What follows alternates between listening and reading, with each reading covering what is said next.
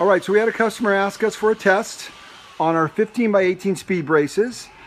30 inches on center. Normally they're about 16, rated a thousand pounds per pair.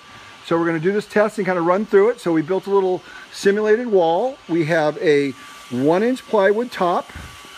We have a two by two cleat, which is a normal installation with the SpeedBraces in there. We've screwed the plywood top into the cleat, which is normal again on the installation there.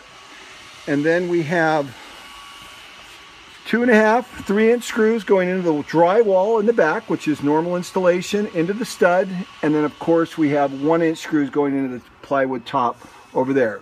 30 inches on center. Dylan, go ahead and jump up. We're gonna do a first a little live load test here. Dylan's about 200 pounds. Get out on the edge there. Show them how strong that is. A little jumping up and down. We'll look, check the side deflection. You'll see that there is no deflection.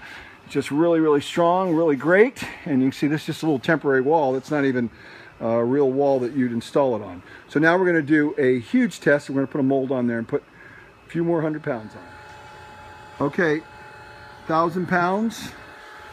Go ahead.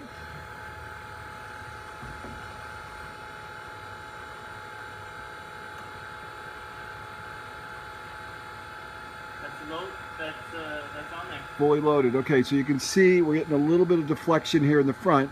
In terms of the brace able to support it, there's no problem. And it's fully loaded on there. A thousand pound mold, and you can see no deflection on any of this. It's all holding up fine. Just a little bit coming down the front. But there you go. Thousand pounds on two that are 30 inches apart. Go ahead and lift it off.